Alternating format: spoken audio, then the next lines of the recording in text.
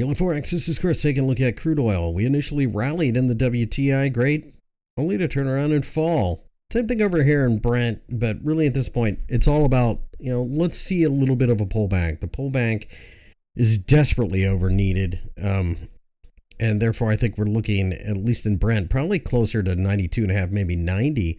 Over here in WTI, 90, 87 and a half are both areas I'm interested in. I want to see a pullback, some stabilization, and then momentum pick up.